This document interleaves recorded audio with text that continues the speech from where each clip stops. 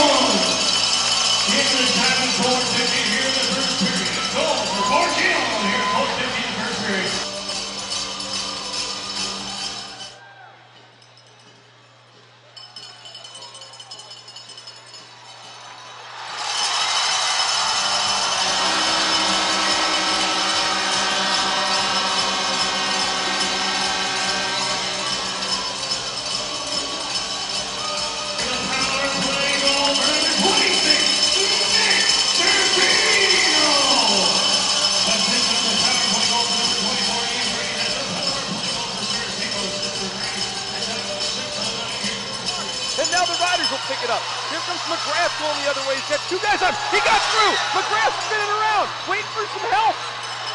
Sends it out in front. There's a shot. Goal! Goal to the Riders! It's the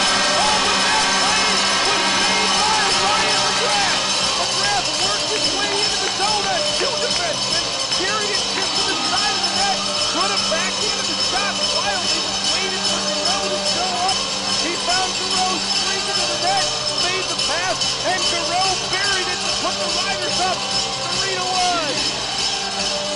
One by Waterloo comes back to Cleveland. Cle- Cleveland shots blocked. Now the right, uh, it's kept in. A blast fired from Hanson at the blue line. Now glove save and a beauty from Jake Hildebrand. That's right, a glove save and a beauty. As Hanson working away from the forecheck, gets it back to, to Brady, moving in. Brady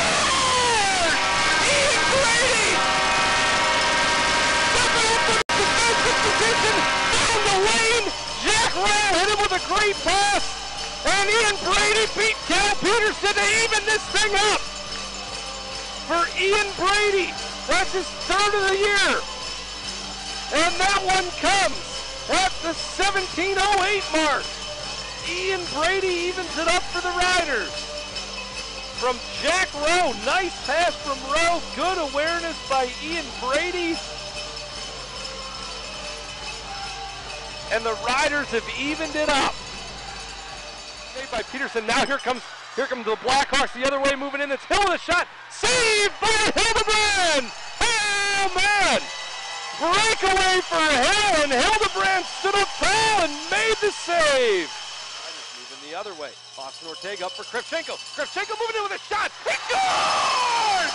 Dennis Kravchenko gives the Riders the lead. There's that transition game, folks. The Riders get it moving through the neutral zone.